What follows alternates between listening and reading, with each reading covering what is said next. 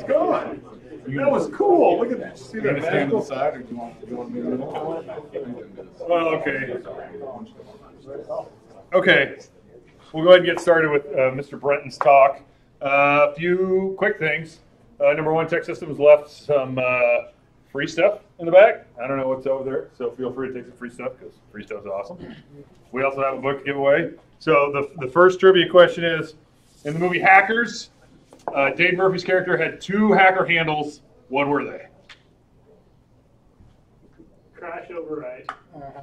Zero. So the first person that Zero says them cool. together.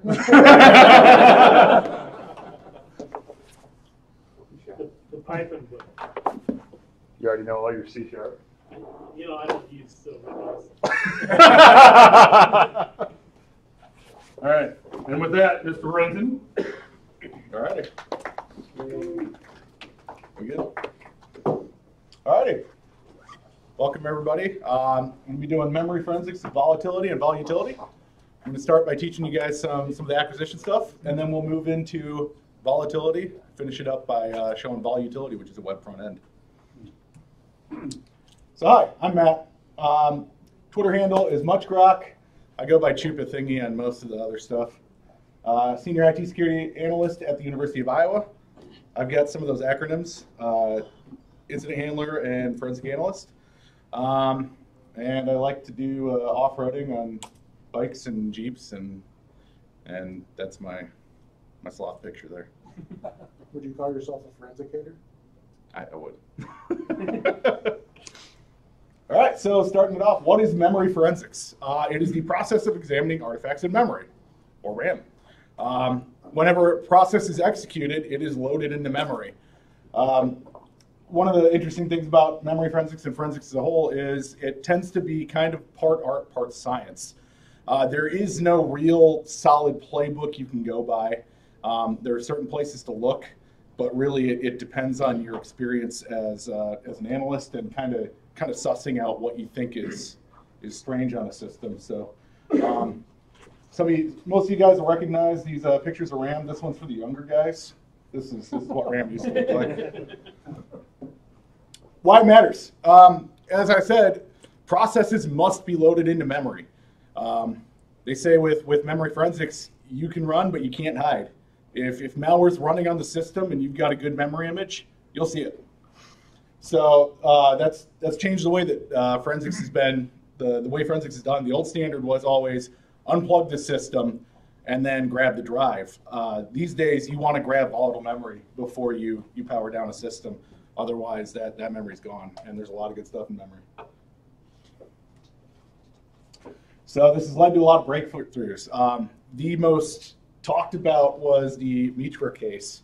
Um, Zach was talking about um, some some audio hijinks on police channels. This guy was arrested in 2004 up in Madison, Wisconsin, for broadcasting audio pornography over police radio channels during the busy Halloween weekend in 2003. Um, during the time that when he was arrested, they confiscated his equipment, and the, the detective there, who's familiar with um, with computer forensics as well as child pornography, recognized some file names on his computer and suspected that they contained pornography, but she was unable to gain access to them. Um, the story, as, as I heard it, was that uh, eventually she she gained some training in um, memory analysis and was able to use like a, a hibernation file. I'm not I'm not really sure the details, but she was able to pull the, the TrueCrypt uh, keys out of memory, um, open those, and and prove that that he had uh, pornography, and ended up convicting him for that. So, first thing to do, got to acquire the memory. Um, there's a num- number of ways you can do this. Enterprise tools, uh, the one that, that SANS likes to teach is F-response. Um, EnCase and FTK. Um, I know EnCase has a collector, I believe FTK does as well. Um, there are also a number of, of endpoint type products. Uh, I put FireEyeHX up here, but but um, I'm sure that I, I think Carbon Black can grab memory for you. Um, but um, you guys are probably more interested in the, the free stuff. So uh, depending on your platform, you've got a number of options. Linux, the, the one that kept coming up was the Linux Memory Extractor, also known as Lime. I don't have any personal experience with that one, but but that seemed to be what what everyone was pointing to. OS 10 is OS 10 PMEM, which is part of Rekall. Uh, Rekall's uh, one of the parts of GRR, which we'll get into later. Windows, the one I like to use is Comae, uh, formerly Moonsol's Dump It. Uh, pretty simple product. I'll get into that on the next slide. And then for virtual machines, it's just as simple as copy, uh, grabbing the, the virtual memory. And in the case of VMware's enterprise products, that tends to be the VMSS file. So DumpIt by Matt Suiche. Um, not really sure how to pronounce his name, but he's uh, Zach actually had a slide up from him as part of the news. He's a um, well-renowned incident response guy. Um, he developed this tool. Uh, see, looks like about 2007. It's still available. It was originally under the MoonSols uh, title. Now his new company is Comae. So all you go do is go to my.comae.io, uh, download the executable. It used to come in x64 and x86 flavor. I don't know if that's still the case. I, I didn't grab it, but um, put the correct one on a USB drive. You want to make sure your USB drive has more space than the, the system you're trying to grab the RAM off of. So uh, 8 gigs of RAM, pretty common number. Uh, use at least a 16 gig drive. Run it on the target workstation, and it'll dump the RAM to your ex uh, external location. Uh, here's a screenshot of what that looks like. Once you hit Y, it'll it'll spin. Um, it'll it'll take a while if you're grabbing a lot of, a lot of RAM, but it'll it'll let you know in the command prompt when you're done. Virtual memory acquisition. So depending on your product, uh, the the way you get it is is different. So for VMware, VMware's got a number of different memory uh, formats. VMSS is a virtual memory saved state. That's what is generated when you suspend the virtual machine. Uh, VMSN is a virtual memory snapshot. That's what, what's generated when you snapshot it. And VMEM is their, their kind of older monolithic standard. Um, you tend to see the VMSS and VMSN files uh, in an ESXi server. VMEM tends to be more of the, the um, home, home stuff. Um, volatility will actually natively uh, read a VMSS file, but if you're if you're using something that doesn't, that expects a raw uh, raw memory image, you can use vmss2core, which is a command line tool that's installed as part of uh, as part of your VMware product, or you can use volatility image copy to uh, combine the VMSS and the VMSN file into a um, a raw image file. VirtualBox is a little bit more difficult. It doesn't automatically create a, a, memory image when you when you pause the machine like VMware does. Um, so you need to use the their CLI utility called VBoxManage. Turn on debugging, and uh, you can use then use a command that dumps the memory into something called an ELF file.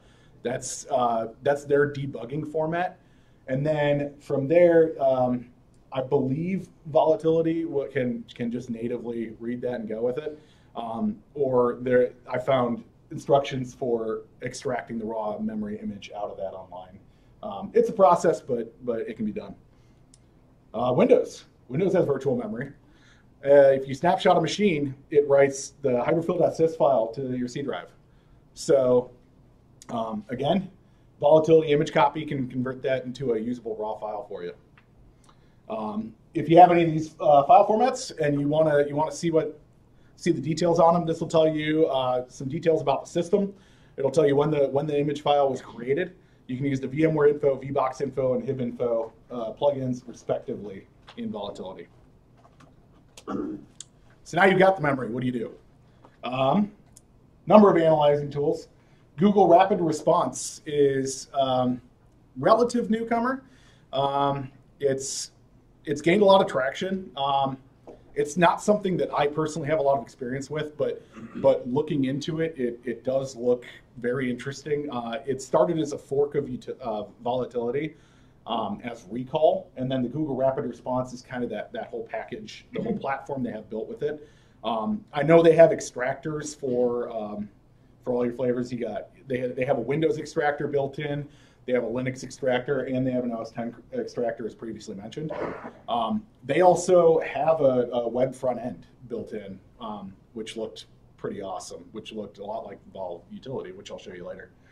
Um, Redline is one that I have used, uh, formerly, formerly Mandiant Redline. I, I think they just call it FireEye Redline now. Um, it's it's pretty neat. Um, it's it takes a guided approach and it only runs on Windows, but we'll take a look at that here shortly. And then volatility is um, kind of the, at least was the gold standard. Um, is a web front end that somebody wrote for it, and those are those are ultimately what I'm going to be going over. So FireEye Redline, um, Mandiant's in in-house product. Uh, they developed it. It originally started as a front end for one of the original memory analysis tools called Memoryze. Um, it is a GUI-based uh, Windows program. Unfortunately, it's Windows is the only platform it runs on. Uh, it can create a collector, which is nice because you can create and deploy collectors using Redline to um, acquire acquire your memory image. It does have some timeline functionality built in, and um, price is right. It's FireEye gives the, the tool away for free. So Can you define collector a little bit better, like a remote collector? Yeah, um, Fetch? I haven't used it remotely. Um, I know it's something you can you can push out, collect a memory image, and pull it back if you use some. Um, I think you got to use some uh, PowerShell type stuff for that. But yeah, you you can um, load it up and you can create create a collector, and then it creates the the memory image in a, a file that natively understands. So uh, special sauce it's it's a guided tool. Um, think like a Microsoft wizard. From the point you open it up, it asks, okay, what are you trying to do? Do you have a memory image? Are you analyzing memory or are you getting memory? If you tell it you're getting memory, it'll walk you through creating a collector. If you're analyzing memory, it, it, it walks you through the steps. It says, what kind of memory image do you have? Do you have a save state file or do you have a raw file? Um, the other really neat thing it does that's that's excellent for, for people that are getting started is it redlines suspicious processes. So might be kind of small, but um, you can see here this SVC host, it identified that as a suspicious process. Um, it has a malware risk index score of 97, and that's out of 100. And it'll actually tell you, it'll walk you through everything that it pointed out that was suspicious and um, how it built that score. So you can start with the, the stuff that, that it says, hey, this is, this is pretty fishy. Um, does have some false positives, but um, it'll, it'll get you started. Um, it also has the ability to export for further analysis. So if you want to, if you see something interesting in the memory, then you want to pull it out. Um, it makes it pretty easy to do that. And you can pull out a binary and um, you can analyze it in, in Cuckoo or whatever. So, volatility. Volatility is an open source tool from the Volatility Foundation. It's written in Python, which is uh, everyone's favorite language, and it is extensively extensible. Um, I mean that they they've got plugins for everything. Um, it's it's a community project, and people, it, it's great. People say, "Hey, I had a need to look for this. I wrote a plugin. Here it is." How do you get it? Um, there are a number of pre-built VMs. Um, SANS has their uh, SIFT. It's the SANS Institute Forensic Toolkit, I believe. Um, the old one was built on Ubuntu. Uh, the new one, I think you, uh, or I know you, you just pull down the uh, repos, similar to how Zach was uh, showing us to build Kali on a uh, Debian install last last month. So um, I'll show you when, when I do my demo. Um, I started with an Ubuntu 1604 image and installed all the SIFT stuff on top of it. Um, Kali, Kali has uh, has volatility built in, and what kind of uh, infosec talk would it be if I didn't bring up Kali? um, or you roll your own. So um, go out on GitHub, git clone for the cool kids. Um, if you're stuck with Windows, they provide an installer. Um, nice thing about about um, volatility is it does run on every platform. It'll run it'll run natively in OS 10. It'll run in Linux, and it does run on Windows. So starting it up, you might notice, hey, where's the GUI? Um, how you how you use volatility is you invoke Python and you give it the path to your directory, volpy. Um, a lot of the, the pre-built ones, and if you make your own, um, you might want to just give them an alias and cut straight to vol.py. Um, general usage, Uh, dash F, give it your image you're, you're analyzing, your memory image. Um, tell which plugin you want to use. And then the profile is going to be the, the uh, operating system of the image. Um, some tools or some commands that actually make it quite a bit easier is um, if you're working with one file path, if you just export it as a variable, then you don't have to give it every time you run the volatility command.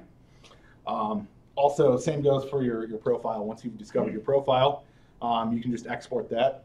Um, if you're if you then move on to a different memory image, you just set use unset volatility volatility location or volatility profile without giving it um, giving it an argument, and it'll unset that variable for you. So um, vol.py has has help built in.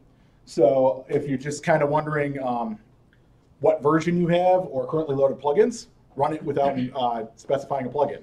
If you want to know what a plugin does and different flags you can use for it, vol.py plugin dash h. All right, enough of the slides. Let's do a demo. Give me a second to do my magic.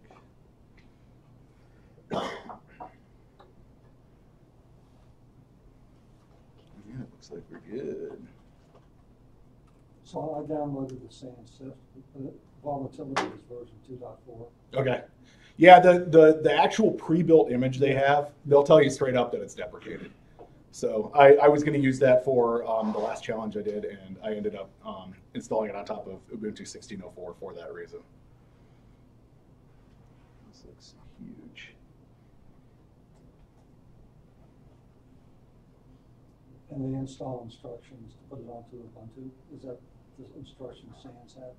Uh, those will be available at the on Volatility's website, um, or um, I also followed a walkthrough, and um, I'll see if I can pull that up, and I'll put that in the, the video description.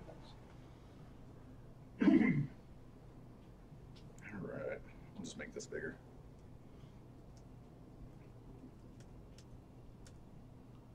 All right, I'm gonna try and make it readable, but not make it uh, so that it's impossible to see the, the full width of the information.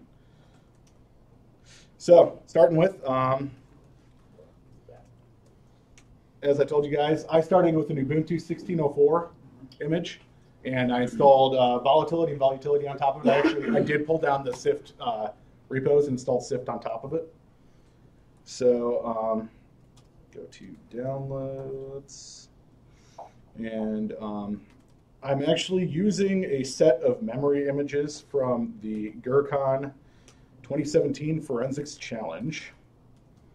So um, I'm starting with this one because I, I know there's something really good in this one that I want to show you guys. So I've got my my VMem file and I've got my VMSS file. Um, I'll start by showing you guys vol.py dash h. It's kind of hard to read.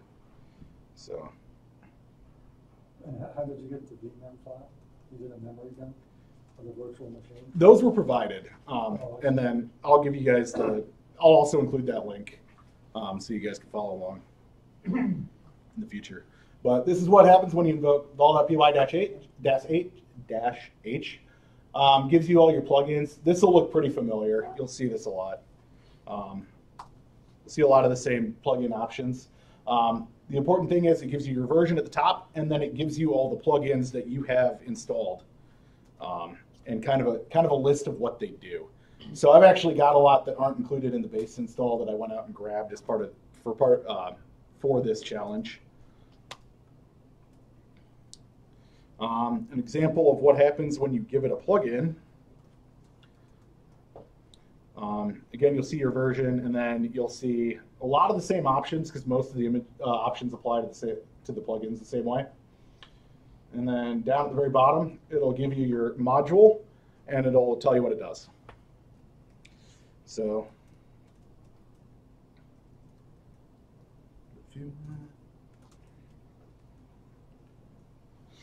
I'm doing uh, vol.py f. I'm giving it my my vmem, and I'm running image info. Is the first thing you're going to do when you have a, a memory image. Um, if you don't if you don't know what it is, or if, even if you do, um, you just want to know what volatility tells you it is as far as the profile. So um, spins for a little bit, tells you determining profile based on KDBG search. This is one of the longer ones.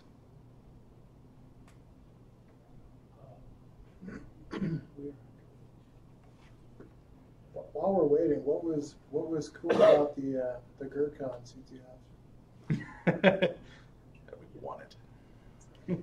okay. Um, suggested profiles here. Um, it's you're always going to want to go with the first one. It's not it's not always the right one, but it's the highest confidence. Um, it does give you some other information here as well.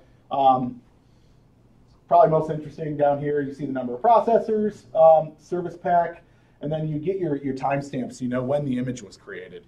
It'll give you your UTC and your uh, local. So now I know what image this is, or what profile it is. It says it's Win7 SP1. I'm going to grab this. Copy. And I'm going to check it. Um, so actually first, um, yeah, I'm going to do export.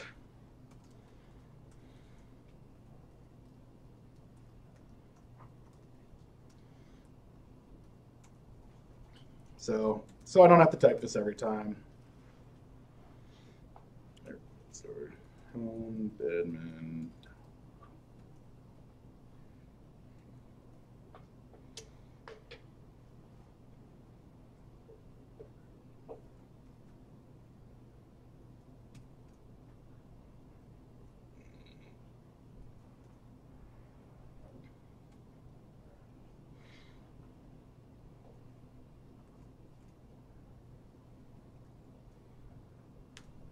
So I exported my uh, my file location. So now I just do vol.py. Um, and I'm going to give it a profile. And I'm going to use this Win7 SP1 x64. And I'm going to run the, the first command you really want to go with is ps list. It's process list. Um, to pipe that into less so we can read it. So process list. Um, this basically, it uh, finds the eProcess list in the kernel. It follows the list and it parses the information about the process. Um, so reading from uh, across the top, it gives you your virtual offset, um, the name of the process, gives the process ID, it gives the parent process ID, uh, the number of threads, the number of handles, uh, which session it's part of, and the Wow64 indicates that it, if it's using 32-bit address space on a 64-bit system, when it started and when it exited. Um, this one, uh, this one's nice. It gives you a nice readable format. Uh, unfortunately, PS list will not show you processes that have exited or being intentionally hidden. Um, so basically what you need to do as an analyst is you kind of need to understand what runs on a Windows machine. So um, a lot of the stuff, you know. you be able to know what processes are running under? What's that? The process is running under. SB Yeah, you'll see a lot of SVC host. Um, that's Well, it's I mean, within SVC host could be running multiple processes. Yep. yeah. So you want to you want to pay attention to the process ID and the parent process ID. Um, going through here, you see they're running they're running GUR. Um, they've got VM Tools D, so this is probably a, a virtual machine. Um, WinLog looks like they're exporting their, their Windows logs. Um, scrolling down to where we get to the interesting thing that I'm going to show you. Um, SLUI.exe, they need to uh, they need to register this. Um, so going through this, um, when we when we went through this in the Well, Challenge. pputty.exe. That's kind of weird. Yep. So looking at that, it's got a process ID of 2832. Uh, parent process is 2136. So looking uh, right above it, two lines above it, you see the process ID of 2136, command.exe. Oh, yeah. Pro- parent process of that, 848. Directly above that, process uh, 848, Word. So um, I don't know about you guys, but um, I don't like it when Word spawns executables on my system. So that might be something you guys want to look at. How is it, it's organized by timestamp? when he dumps it out there? You know? Yeah, I think it is. I don't know that, but it sure yeah, it looks like it. Okay, um, so another way that I like looking at the PS list information, this will give you the same information. oh, I'm sorry. PS tree. Let me get that to the top of the screen for you guys. So that was PS list. We'll do a PS tree. PS3 uh, queries the same information, but it gives it to you in a hierarchical format. So this shows you um, what process spawned which ones. And so we go down to the bottom here. You can clearly see where Explorer spawned WinWord, um, parent process for cmd.exe, parent process for peaputty, which then was the parent process for two more cmd.exe. So again, that's kind of shady. Um, another another way to look at the same information, um, actually, entirely different way to look at what you've got is PS Scan. So this is probably the second or third plugin you're going to want to run. And the way PS Scan differentiates uh, from PS List is it kind of does the opposite. Um, instead of following a linked list, it scans your memory for processes and then attempts to, to backfill that information. So um, unlike PS List, PS Scan does have the ability to find terminated processes within unallocated memory. So it can find processes that have terminated or, or um, processes that are being obfuscated for PS List. Um, so going across the top, this one uses uh, a physical offset instead of a virtual offset, uh, and that's denoted by the P. Gives you the name of the process, gives you the uh, process ID, parent process ID. The PDB is page directory base offset. Um, gives you your timestamp that it started and your time that it exited. Uh, real quick, physical versus virtual memory.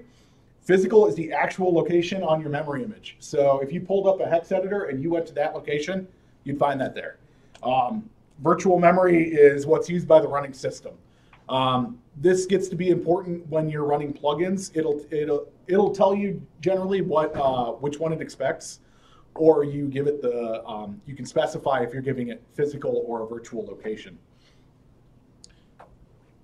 So, and then a way that we can compare these two outputs is uh, PS Crossview. So PS Crossview will take the uh, PS list and your PS scan outputs, um, as well as some of the other locations in RAM, and it gives you this table. Um, main things you're looking for here, um, kind of the, kind of the easy button is if you see something that does not show up in your PS list and shows up everywhere else, that means someone intentionally did that, most likely. So if you see false in your first column and true everywhere else, that means that, that somebody intentionally unlinked that from your PS list. And that's probably something that you should take a close look at. So unfortunately, I don't really have a good example of that in, in here, but that's what you want. Um, after you're looking at processes, biggest thing to look at in a memory image is NetScan. Uh, NetScan will show you your active network, or it'll show you your, your network activity. Um, so here you see your physical offset, protocol, local address, foreign address, state, process ID, owner, and uh, when it was created. So see some of these are just listening processes, but then you actually get some um, remnants of connections. So um, can actually see some close stuff there too. Um, as we discussed earlier, I think we want to look at that. Uh, we want to look at that Peaputty, see what that guy's doing, because that, that guy looks shady. So let's grab that out of there. Um, here, that's pretty interesting, right? Um, we can see the local address here, and that's the foreign address. So for the purposes of a memory challenge that might use this memory image, um, I think it'd be worth figuring out what that foreign address is.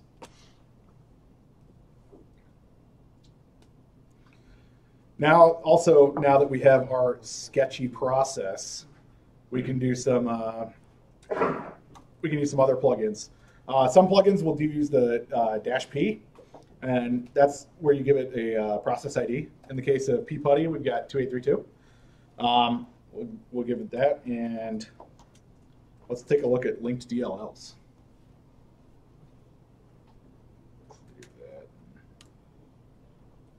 Put that back at the top. Okay, so um, again, here we go. Uh, first line, C users Philip Price documents peaputty.exe. Um, that's really weird for an executable to be running out of the documents folder. So even more evidence that this guy is shady. Um, another plugin that you'll want to run. So is the load time there evidence of time stopping? Um, not sure. With with time, you gotta you gotta be careful because sometimes it's a it's a sometimes it's just the fact that the, there's incomplete data or missing data. Um, sometimes it is time stopping.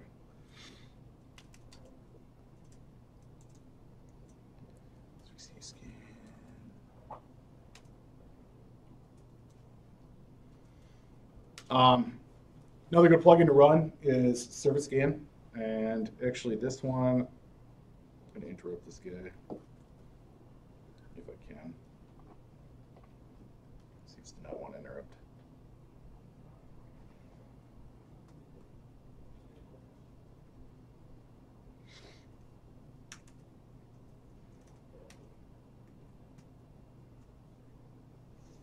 If you run the wrong profile, uh, like what, how, how can you, how would you know that, or what, like, what would you see? You just um, it'll tell you that it can't find. Um, it'll it'll give you an error message basically saying that it's it's not getting the output that it expected, and I think it actually tells you to um, that it might be a bad profile. Um, screw it. Oh gods, why?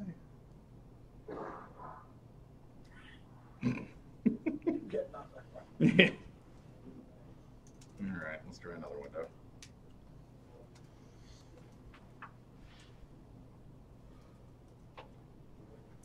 That was the E Corp dash two.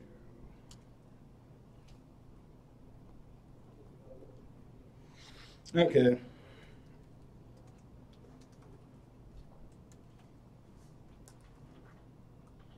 So it saves your previous variable, set it?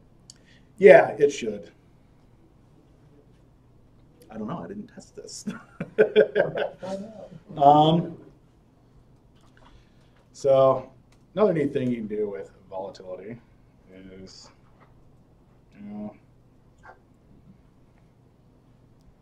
yeah, I think it wants my file. Um,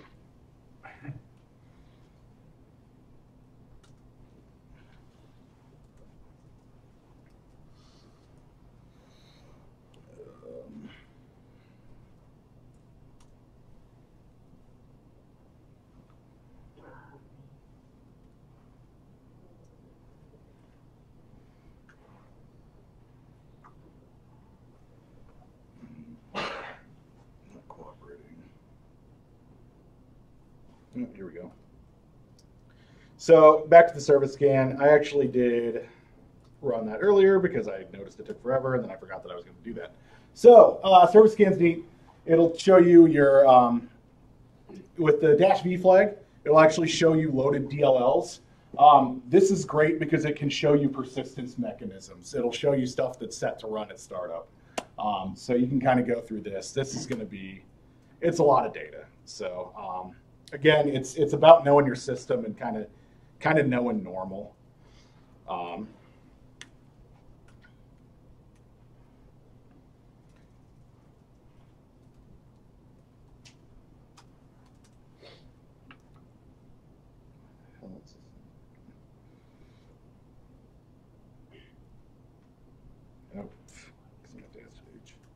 Okay, so um, another neat thing you can do with volatility is, um, oh, that's why, that's why. Um, so you can use this command dump files. Um, and dump files will actually, um, it'll give you uh, it'll give you a file if you find it in your your file list. Um, so let's do headless scan. So um, I forgot to do the file scan. Um, so I did I ran the file scan command earlier and came up with this list. These are all files that it can find in memory. Um, so I'm just going to do, let's grab this guy off the top right here, user.bmp. So having that physical offset, um, I can do vol.py, give it a profile. Um, I'm going to do phys offset equals, give it the physical offset. Um, this command requires a dump directory. So I'm going to give it admin downloads. And um, I like using the, the name. Um, that'll include the name of the, the uh, what I'm trying to grab in the output of the file. And give it, I need to give it dump files. I'm gonna give it my plugin. So what I'm telling it to do, to do there is um, that BMP file from my file list, I gave it the physical location and told it where to dump it. And it says, okay, I grabbed that for you. So um, right now, I can go back to my downloads file folder. Um, that file.none right there, that's the file it just grabbed for me. So run file on that guy. And we can see it's a bitmap kind of what we expected. Um, go to my downloads here.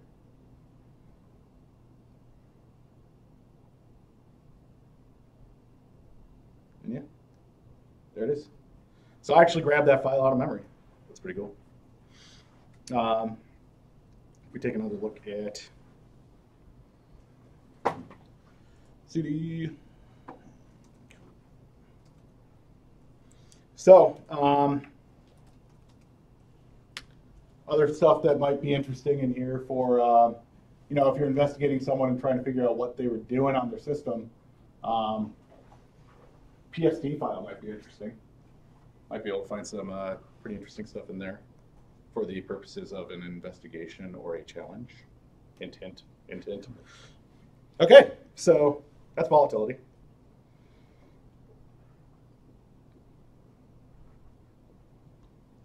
Which brings us to VolUtility. So VolUtility is a web front end for volatility. Go in here. Um, vol, VolUtility, actually I'll show you this first. So this is the GitHub page for VolUtility. Um, it's written by a dude named Kev the Hermit. Um, you go here and the first thing he hits you with on the wiki page is installation instructions. Um, and I'll, I'll put this link in the, the video description for later. But um, easiest instructions are Ubuntu. So like I said, I used it on, I installed it on 6, 1604. Um, it has some some requirements. It, it uses Mongo. Um, it uses, you can add in Yara. You can give it a VirusTotal API key. You can add in Vagrant, um, and you can add in Cuckoo. It's, it's meant to be kind of a one-stop shop um, to, to interface with all these other um, applications. So the way we get that is, um, like I said, I pulled it down. I put it on my system in volutility. Um, a lot of the commands live in the volutility.conf. So here you can see my database is my Mongo URI. Uh, VirusTotal, you can see my API key there. Um, mine's special. It says hi, Tom. You get that written down, Tom? hey, Hey, that's my key too. uh, the coolest thing here is um, if you enable this auto run and you give it a list of plugins, as soon as you load a uh, memory image into this, it'll run those plugins for you and have that output ready to look at. So, um, and then the rest of it is kind of set up so that it interfaces with your, your different um, extensions. So um, I wrote a, a start script for mine. Um, this is where I'm really testing the uh, the demo gads. Oh, what was the command line? What's that? What was the command line plugin? Command line plugin, there was command line and command scan. Oh, um, yeah, I'll show you those. Hey, it worked. Okay.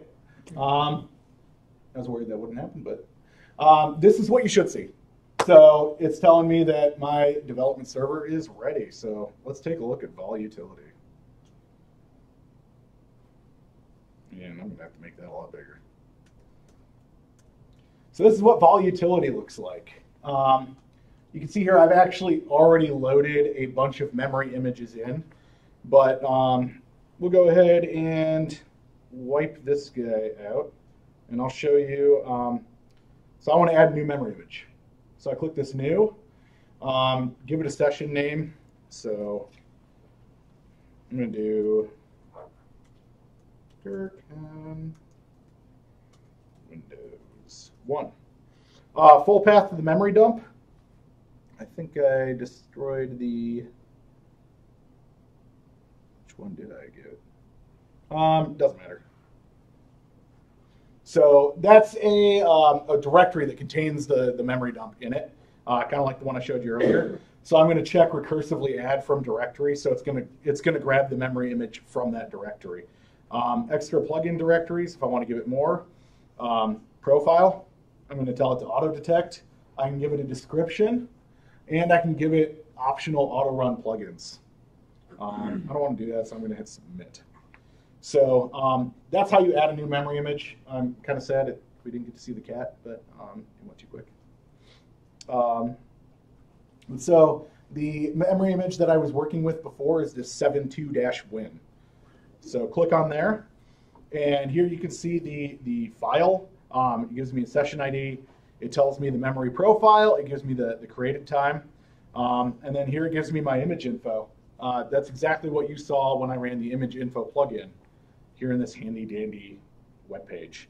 Um, unfortunately, because of the size I have this, it's might not show very well. So I'm going to probably try and do some scaling stuff and hopefully not make it look terrible.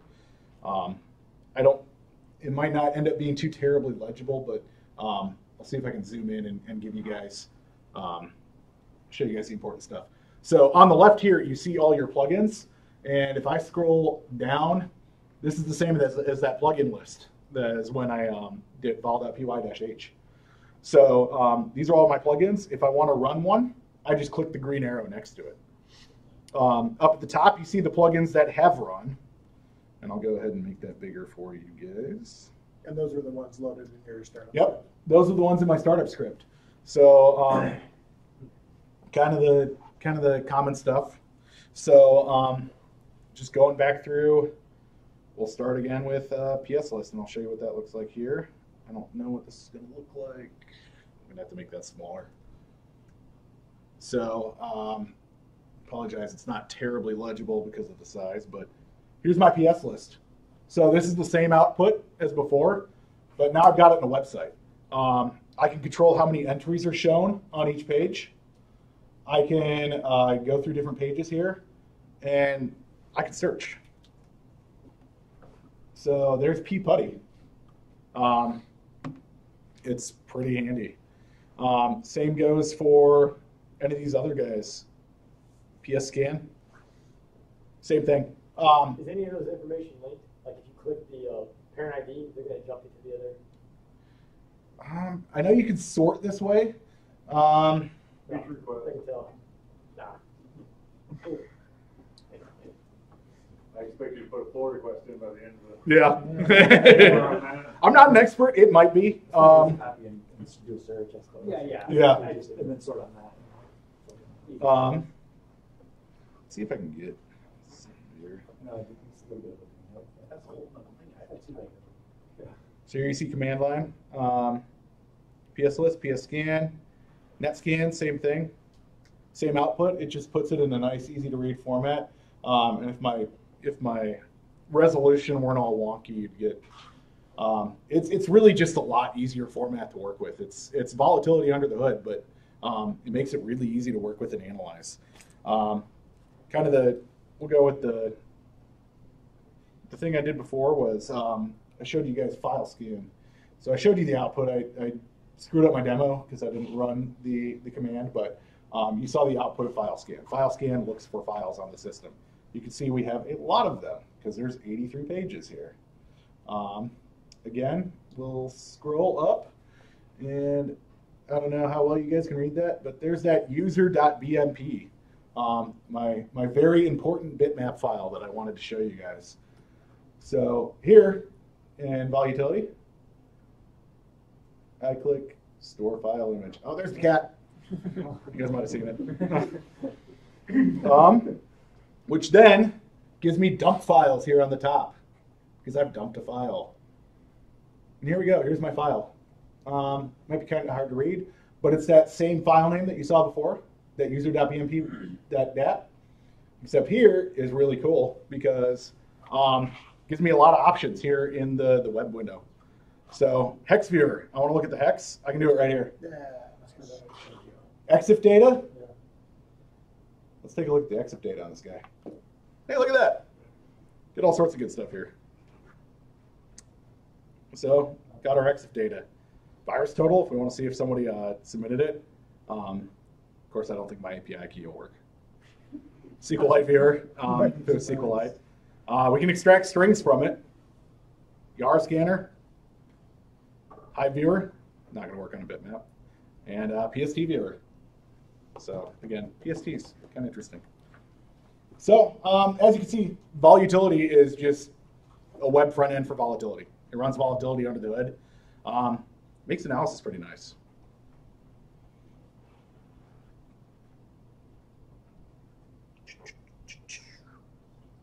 So, where do we go from here?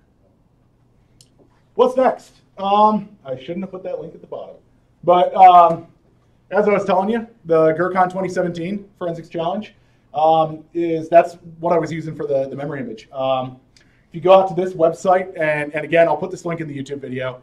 Um, I'll get it out there for you guys. Um, you can actually, the, the challenge is still up. You guys can go there and you can register. Um, and actually, I did pull that up. Ooh, Not yet, not that one. Go away. Okay, so wrong page. Here's what happens if you go to that website. Yeah. I'm back now. So GrrCON 2017. Go down here, click this link, uh, get added to the Slack. Um, the the guy who created it, Wyatt, he's um, he's pretty active there. Um, he's always on there. So if you have any questions about the challenge, um, you go over here. Um, you'll have to log in for this one. Um, if you want to take a look at the scoreboard, that's kind of neat right there. SecDSM. Um, yeah, the way I'd, I'd recommend you guys do this, start at level one. Um, the way it was given to us is is we got level one, and it said, hey, this person got this this ransomware image on their desktop. Um, go check it out. And and it's a very open-ended format. It's uh, he wrote it to be a, realistic challenge, and it really was. Um, and then, no, that did weird things. okay. Um, up here, also under level one, you get your, your challenge files password. Um, you go over here to the downloads to get the challenge files. This is where you can get all the, the, the memory images. So um, my intention is to, to kind of go with this, um, this memory challenge. Um, I'm going to give another talk and talk about some of the level one stuff you should find and um, go on from there. If there's enough, enough interest, I can keep going with that. So I know it's kind of a long talk, but anybody have any questions? Tanner. Mention your uh, non-standard plugins. Yep. Uh, have a short list of favorites, recommendations. Um, I, I found that a lot of the internet history views, um, a lot of those can be really uh, helpful. Um, if you're looking for user activity, if you're looking for, hey, you know, where did this come from? Um, so there's there's separate plugins for for Internet Explorer, for Firefox, for Chrome, obviously, because all that data lives in different places. And I, I forgot to show you guys that, but I actually did have all those loaded in, and so um, you can you can figure out if you figure out what browser they're using, you can you can just pull up their their internet search history that way. Are the plugins version specific or is it that specific that for, um. Is it? Uh, like, um, uh, the version of Firefox specific, I know older browsers they move where they put the, um. I'm not sure. MediaTek files and CBL files. and stuff. Yeah, I'm not I'm not sure. Um, they might have different different plugins for different versions. Okay. So um, that'd be something I'd have to look up. Anybody else have any questions? Yeah, is there any sort of timelining functionality other than, you know, running the search and then sorting by time? There is, um, and I discovered it when I was doing the challenge. Um, it's kind of hit or miss. It, it didn't. I didn't really think the output was that great on it. So um, I was. I uh, we did eventually get the disk images, and I ended up uh, running time uh, disk timeline off that. Um, we weren't able to do that at the uh, at the actual competition because the internet connection was so spotty. And it, I tried downloading one of the disk images, and I think it said it would take like 14 hours. So um, we actually we, we relied entirely on the, the memory images for this, and and you can you can get a lot of really good data out of the memory. So, so using this tool and doing this analysis, would you be able to discover some, if there was like DLL injection going on? Yep. Yeah, so that's um, you can you can get pretty advanced with it. Really? So if somebody had an Meterpreter shell and they migrated to a system process, and you got a snapshot of the memory from which it was living in, you'd be able to potentially find it? My understanding is you should be able to. it's it's entirely dependent on um, you know sometimes it, it depends on if you get a good memory image, Uh-huh. if that stuff um, hasn't been overwritten, but um, that's kind of the uh, bread and butter is you're you're able to see kind of what's going on under, under the hood, and you can you're uh, you're supposed to be able to find uh, rootkits and um, DLL injection and and all sorts of fun malware stuff. So. All right. Thank you, guys.